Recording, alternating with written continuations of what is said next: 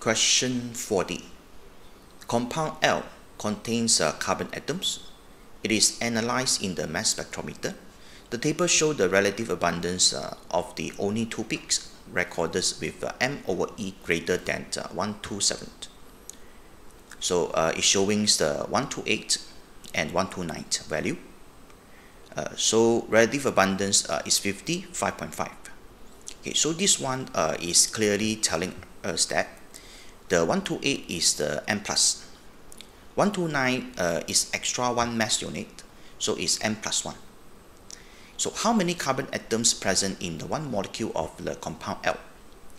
So we just need to use this, uh, this equation.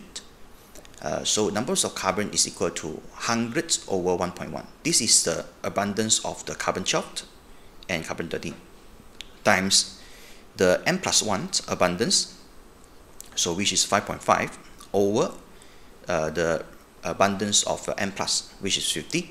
So substitute the values here, so you get uh, carbon numbers 10. So answer is D. Okay, that's all. Thank you.